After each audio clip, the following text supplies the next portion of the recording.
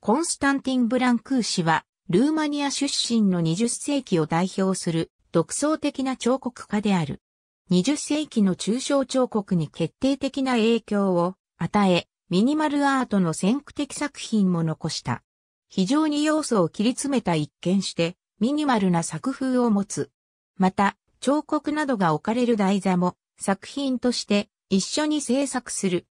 ブランクー氏の作品は抽象化が進み、代表作である新生児や空間の鳥では幼児の頭部や飛ぼうとする鳥がほとんど単純な卵型やプロペラ型の形態にまで至っている。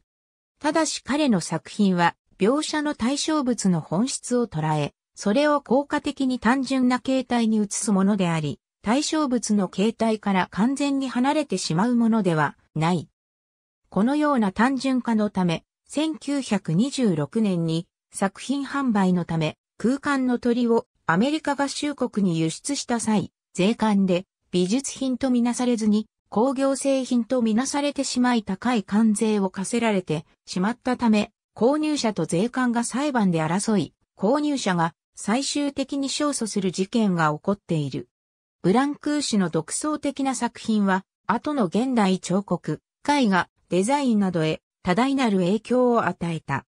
特に代表作でもある無限柱シリーズは単純なユニットの反復により構成され、本人が友人の万例に語ったところでは、どこで切断しても無限の柱としての特性を失わないものとされる。この思想はカール・アンドレなどのミニマルアートへ強い影響を与えた。ブランクー氏は朴突な人柄で様々なアーティストから慕われ、マルセル・デュシャンやマンレーとも親交があった。デューシャンはニューヨークでブランクー氏の作品を売買することで生活していた時期もあった。万例から写真術を教わったブランクー氏は自分のアトリエ内に暗室を作り、自らの作品を写真に記録することに熱中したこともあった。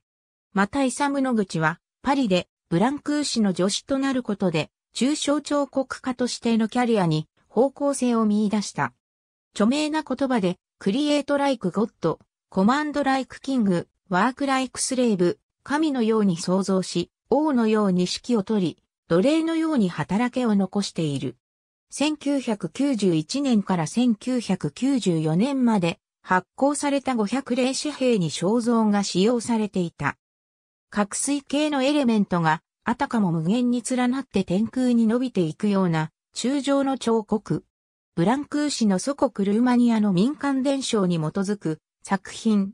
ルーマニア出身の宗教学者、ミルチャ・エリアーデは、ブランクー氏と神話というエッセイでこの作品に言及している。ありがとうございます。